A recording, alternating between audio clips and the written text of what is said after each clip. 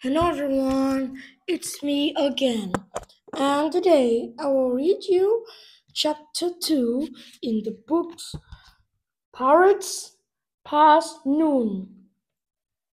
Mary Paul R.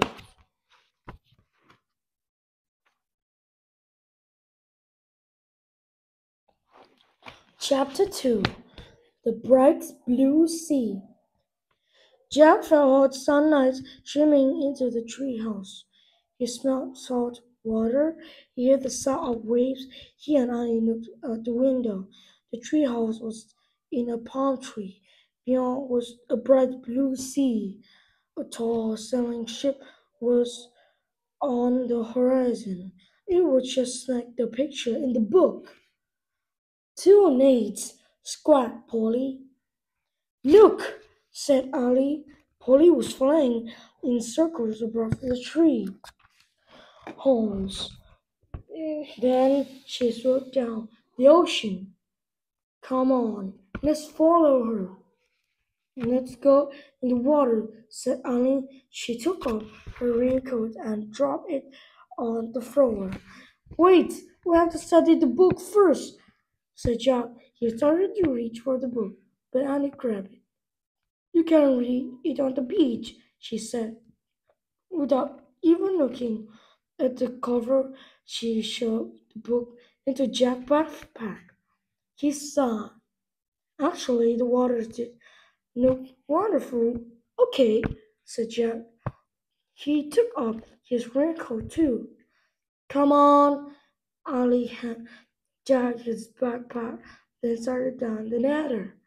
Jack found the raincoat and put it next to the stack of books. He put on his backpack, then he went down the ladder.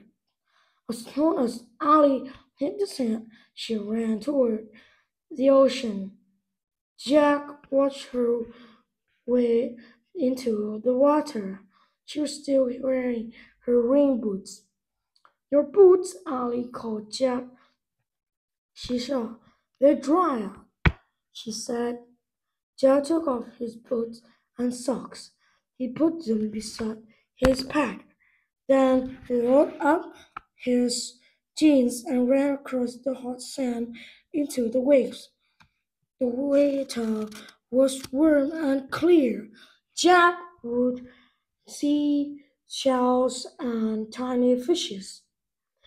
He shut his eyes against the sun and here out of the sea. The tall sandy ship seemed a bit closer. Where's Polly? said Annie. Jack glanced around. No sign of Polly. Not in the palm trees.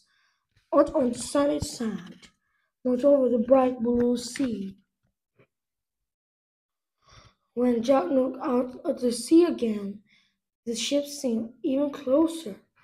Now Jack could see its flag. As he started at the shipwreck, a shot went through him. The was back with skull and crossbone. Oh man, he breathed. He started out the water. What's wrong? said Ali. She splashed after him. Jack ran to his backpack. Ollie followed. He grabbed the book from his backpack and looked at the cover. For the first time, he and Ali read the title of the book. Yes, said Ali. Pirates of the Caribbean. Jack read aloud. And that is end for chapter two. Chapter two is about Jack and Ali that went to island beach and see the ship. They think it was a pirate ship of the Caribbean. And next day I will read you the chapter three. I think it will be more exciting than chapter two. And goodbye.